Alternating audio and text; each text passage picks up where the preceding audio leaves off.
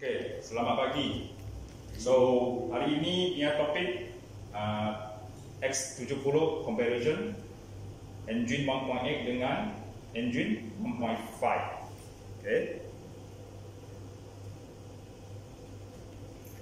So, untuk pengetahuan kamu, ini adalah sejak X70 launch sampai sekarang dia punya boleh kata dia punya historical lah. Okay. So tahu tak S70 dia launch bila? 2018. 2018. Ya, masa itu semua X70 adalah importer CPU. Okay, CPU itu stand for complete build up. Dia ada import daripada luar negara. So X70 juga first SUV ha, yang di uh, launchkan oleh Proton. So ini pun first SUV yang joint venture dengan GD. Okay. So masuk 2019 bulan 8 dia launch juga satu panggil S70 Merdeka Edition. Okay. So go to February 2020. Ah, masa itu CKD sudah ada. Masuk CKD itu complete knockdown. Bermaksud dia pasang di sini local assembly. Okay. So CKD berbeza dengan CPU daripada segi dia punya transmission kan okay so transmission daripada CPU is 6 speed.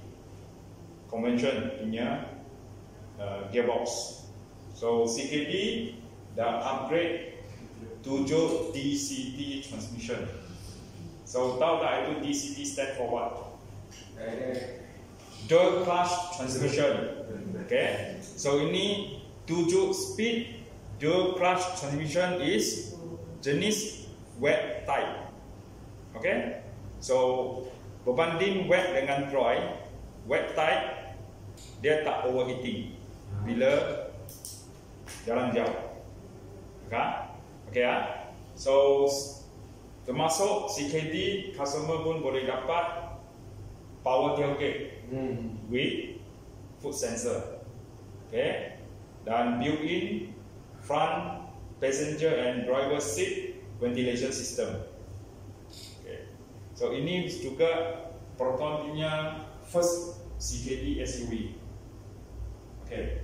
So pada masa 20 tahun 2021 Julai X70 juga dia launch satu variant so called X70 Special Edition. So apa beza yang ni X70 Special Edition? So ini special edition, okay. Cuma dia ada dua color pilihan saja. Hmm. Antara Ocean Blue atau Ruby Red. So berbeza dia, dia punya roof adalah hitam. Ya, black roof. Dengan napa leather seat adalah warna hitam. hitam. Design sport rim pun tak tukar, okay. So dengan sama juga logo baru, okay. So 2022 ini tahun X70 telah buat sedikit perubahan. Ha? So it's called X70 MC1.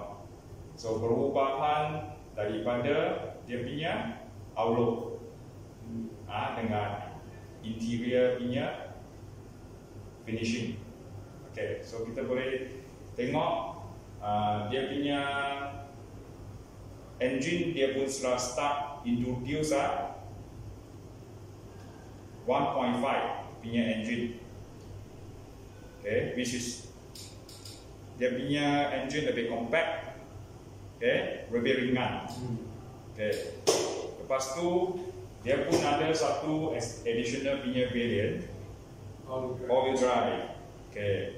So dalaman dia punya finishing is warna hitam Okay. So dekat luar apa yang dia sudah uh, buat perubahan daripada segi dia punya kosmetik, okay?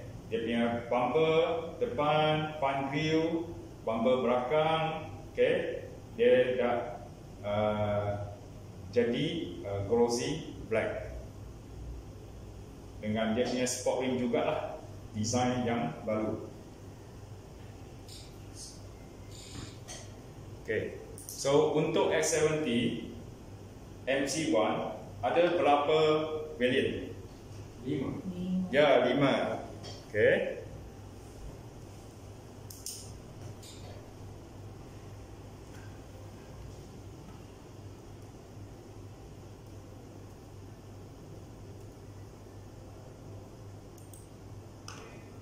Okay. So, lima variant adalah daripada start standard executive two wheel executive all wheel drive premium two wheel dengan 1.8 premium two wheel okay. so apa perbezaan dia perbezaan adalah daripada segi dia punya spec dengan uh, exterior interior dengan safety features okay. cuba kita tengok dia punya 1.5 standard two wheel drive 1.5 TGDI engine. So TGDI engine TGDI itu stand for apa? Tahu kan? So itu adalah turbo gasoline direct injection. Ya. Dengan tujuh speednya dia brush transmission. So untuk size engine dengan transmission okay dia adalah uh, empat variant semua pakai yang sama hmm. ha? iaitu standard 1.5 executive 1.5 two wheel executive 1.5 all dengan premium 1.5 two wheel okay so kita boleh tengok kalau standard exterior dia dia punya size of uh, dia punya rim uh, 17 inci okay dengan dia punya headlamp is halogen halogen okay so headlamp tu ada fungsi auto, auto mode ya yeah. okay so ap, apa itu macam mana fungsi auto mode tahu tak Uh, dia bila gelap dia terus tak nyala. Ya, dia sensor. Ha? Okay. So follow me home punya function. Pernah dengar tak follow me home? Pernah kan? Okay. So tahu apa dia punya kegunaan? Tahu kan? Boleh cerita sikit. Kalau kita mati enjin, hmm. kita nak buka pintu, hmm. lampu mesti nyala. Ya. 60 second. Ya betul. Ha. Okay. So dengan datang dengan LED punya front fog lamp kita selalu panggil spotlight lah. Ya. Okay, ya. So dalam segi interior untuk standard, okay, styling dia built-in switch. So switch itu ada uh, audio control punya switch, ada cruise control punya switch, okay, dekat styling. Styling itu mood selection, ada built-in mood selection, okay. So mood selection itu untuk uh, nak tukar. Daripada radio ke online streaming music or tukar ke bluetooth music. Okay? So kita boleh tekan switch pada sterling sahaja. Okay. So dia punya jenis meter adalah full color LCD meter. Tahu kan? Hmm. Okay. So dia host dia juga datang dengan drive mode selection. Ada berapa drive mode? Uh, dua. Salah. Ha. Dia ada tiga drive mode. Oh. Ha. Dia oh, ada comfort. Okay. Dia ada sport. Sport dengan eco eco mode betul okey so bermaksud dia ada tiga karakter. Ha? ada tiga karakter punya drive mode. So customer senang nak hmm. dia boleh pilih antara mana satu yang dia sesuai. Ha? untuk uh, condition jalan. Bila dia nak laju nak overtake kereta apa dia sepatut pilih? Sport ya. Yeah. bila dia nak naik bukit kan yeah. dia bawa full passenger apa sepatut dia pilih? Sport ya. Yeah. kalau dia town use kan daily use apa sepatut dia pilih? Eco eco ke atau comfort? Okay? So dia punya seat material adalah fabric. Fabric. Tu.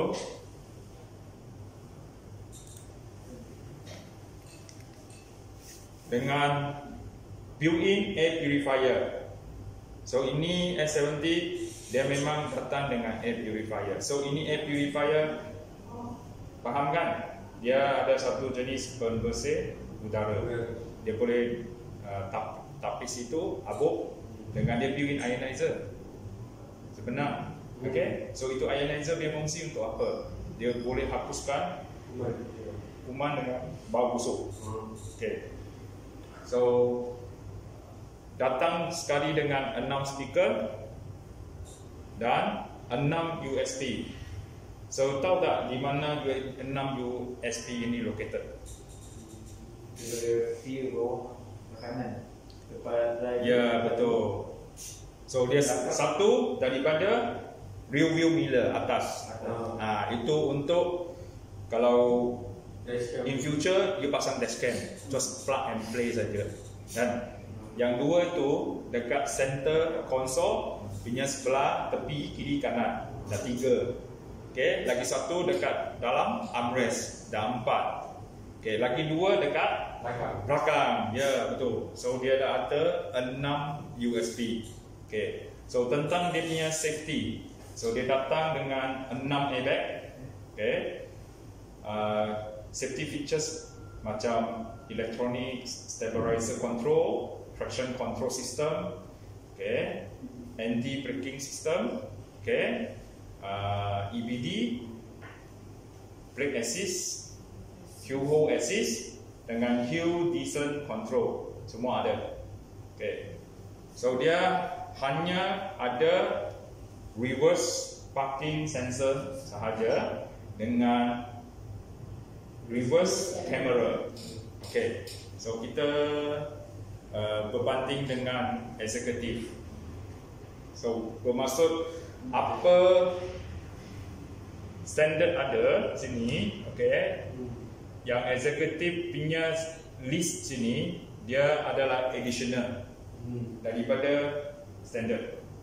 So kita boleh uh, compare exterior dia punya size rim dia dah upgrade daripada 17 hingga 18. Okay.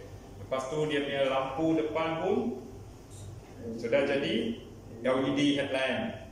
Betul? Okay. So daripada segi dia punya interior So interior dia Dia ada auto dimming Real view mirror. Tahu tak itu auto dimming real view mirror Kalau lampu tinggi orang belakang eh? Ya. Kan? Dia ada macam silau kan? Ha. ha. So dia akan Dia akan uh, auto dim kan? Ha. Supaya itu dia anti itu apa? Silau. Okay? Ah, front welcome lamp. Dia ada. Dengan dia punya seat adalah semua leather termasuk dia punya steering juga. Ah, okay ya so executive terdapat satu power seat. Ah. Ah, driver side sahaja. Okay so dia ada six bay. Okay and start daripada eksekutif dia sudah ada ventilation seat. Kan? Ha? front ventilated seat so dia punya speaker 8 dia ada power tailgate built-in lepas tu dia built-in auto rain sensing Okay. Tentang dia punya safety, okay, beside dia ada 6 airbag, ESC, TCS, ABS, EBD, brake assist semua tu, okay. Nah, ini dia punya kamera adalah 360 kamera. Dia beza daripada standard.